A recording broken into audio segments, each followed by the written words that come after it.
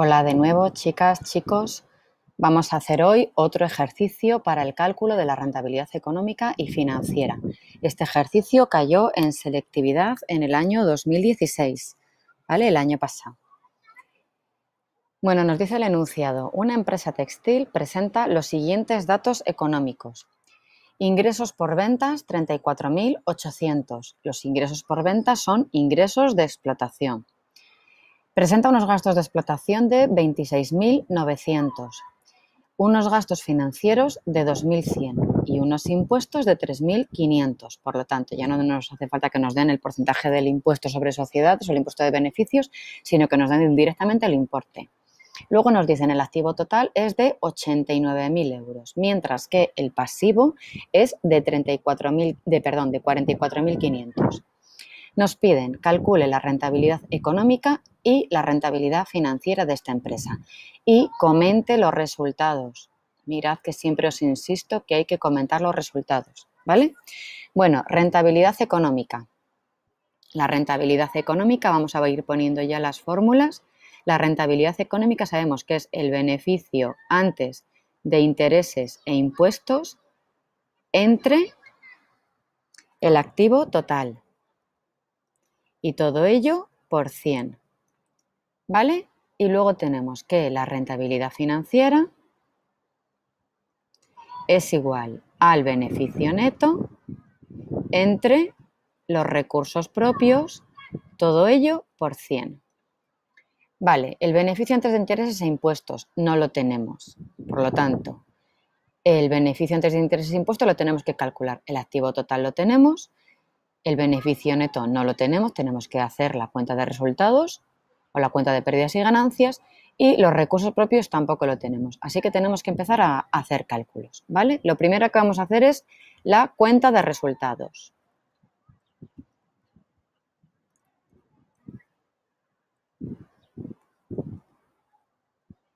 Bueno,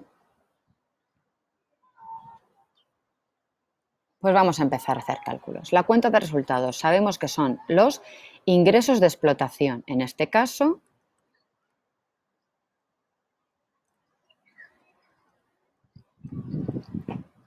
los ingresos de explotación son 34.800 menos los gastos de explotación. que nos dice que son 26.000 900. Los ingresos de explotación menos los gastos de explotación, de aquí tenemos el beneficio antes de intereses e impuestos o lo que sería lo mismo el resultado de explotación. Esto nos sale un resultado de 7.900. Al beneficio antes de intereses e impuestos le quitamos los gastos financieros, no nos hablan de que haya ingresos financieros, por lo tanto, solo tenemos gastos financieros, menos los gastos financieros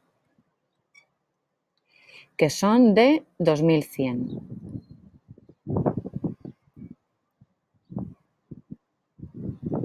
El beneficio antes de intereses e impuestos menos los gastos de explotación nos sale el beneficio antes de impuestos.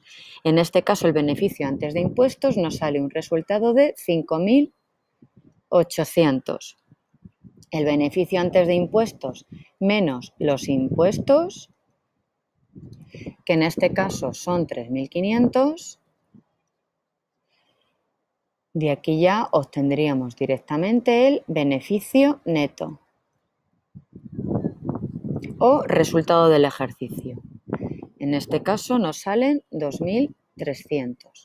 ¿Vale? Bueno, pues ya tenemos prácticamente todo. Nos falta otro resultado que tendremos que calcular, que es los recursos propios. Los recursos propios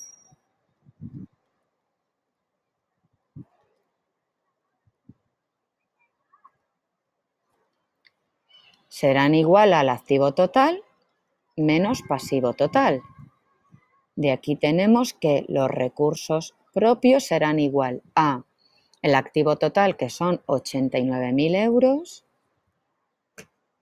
menos, los perdón, menos el pasivo, que son 44.500, tenemos unos recursos propios de 44.500. Por tanto, fijaros, la empresa está financiando su estructura económica al 50% con recursos propios y al 50% con recursos ajenos. Bueno, pues aquí ya tenemos otro dato para hacer todos nuestros cálculos. Bueno, entonces tenemos que la rentabilidad económica será igual al beneficio antes de intereses e impuestos, que son estos 7.900, entre el activo total, que son 89.000 euros. Y todo ello por 100. Esto nos sale una rentabilidad económica de 8,88%.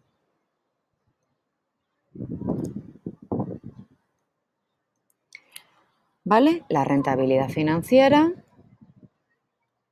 será igual a el beneficio neto que ya lo hemos obtenido de la cuenta de resultados, que son 2.300, entre los recursos propios que los hemos calculado, que son 44.500. Todo ello por 100. Y aquí tenemos que la rentabilidad financiera de la empresa es un 5,17%.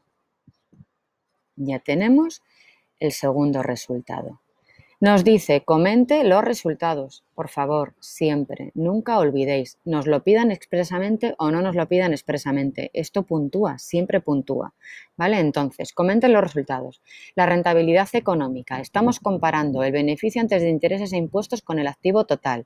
Entonces, el razonamiento de este resultado sería, de cada 100 euros invertidos en activo total, la empresa obtiene un beneficio antes de intereses e impuestos de 8,88 euros.